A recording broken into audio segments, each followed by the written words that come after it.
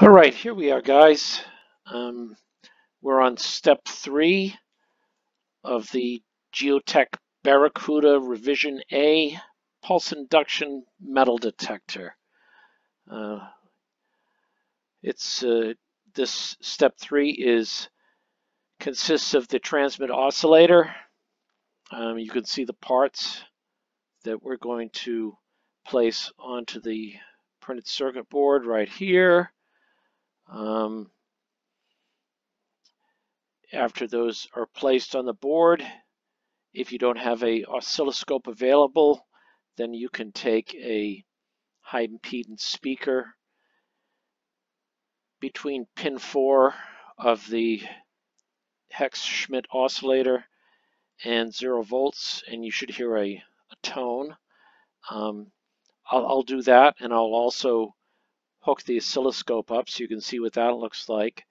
Uh, we're going to go from pin 4 of the Hex Schmitt os uh, oscillator for channel 1 and pin 7 of the LT1054 for channel 2. And we'll just skip over here to take a look at the diagram, if I can find it here.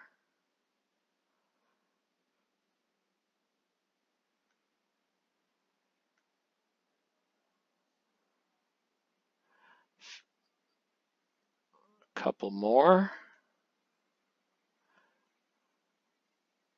Here we go, transmit oscillator. Um, you can see the Hex Schmitt oscillator, uh, diodes, the various capacitors involved, resistors. So these are all the parts that we're going to place and we'll show you that in the upcoming video clip.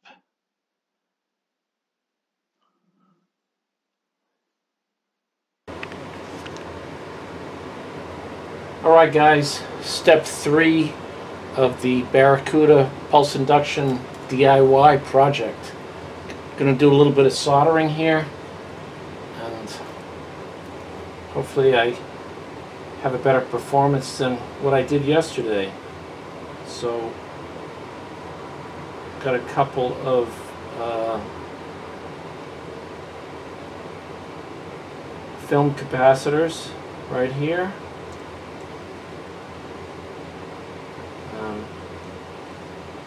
I bought most of my stuff from Tayda this time. Saved a little bit. We'll see how it works. I'm going to clip these off. If I can find my clippers in my mess here.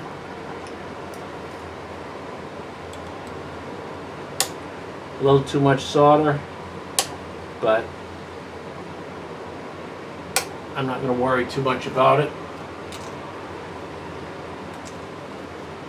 And I will solder this dip socket on and then test some more components.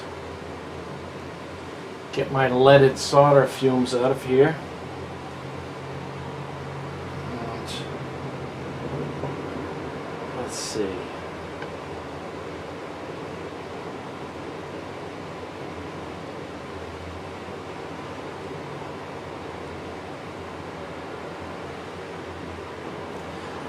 Clean my tip off.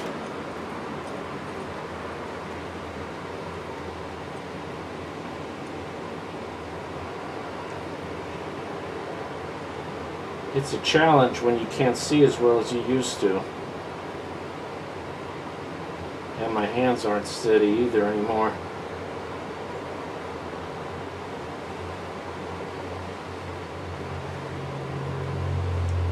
But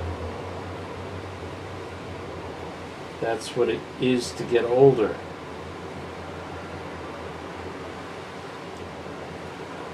Yes.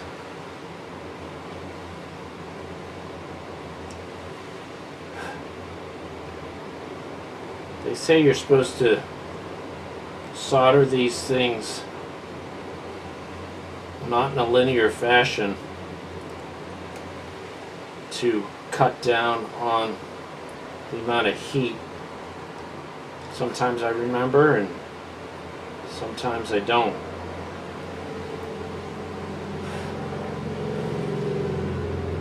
Last one.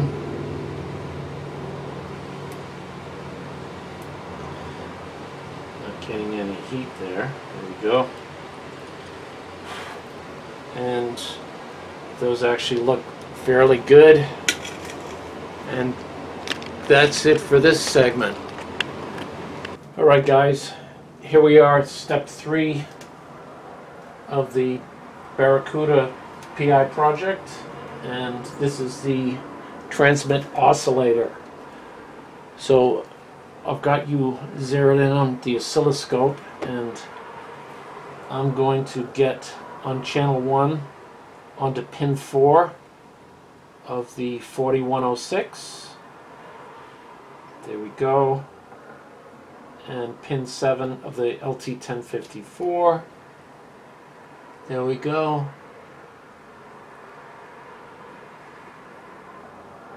So that's what that looks like. And now I'll give you a shot of what the board looks like so far. And I'll hook up a high impedance speaker so you can hear that.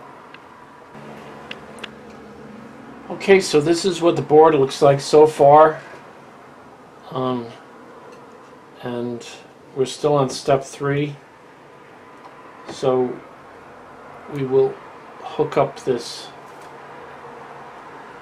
high impedance speaker and you should be able to hear a tone.